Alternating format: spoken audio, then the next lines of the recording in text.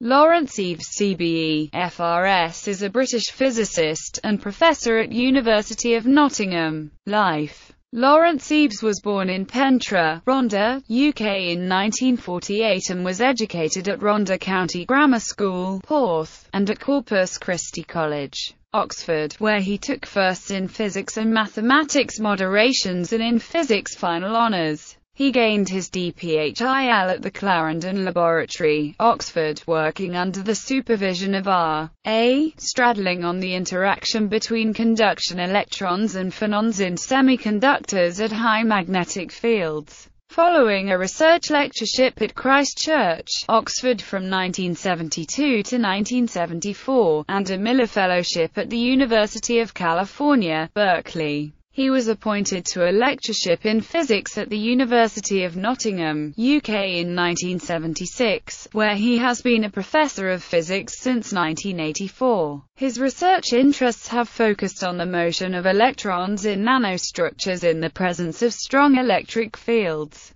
Publications include spatial mapping of the electronic wave function in semiconducting quantum dots, the quantum chaotic dynamics of electrons, and the properties of electronic devices in which electrons tunnel through a potential barrier. He is also interested in using high magnetic fields to study a range of physical phenomena including droplet hydrodynamics. His present research is focused on the electronic properties of heterostructures in devices made from graphene and other two-dimensional crystals.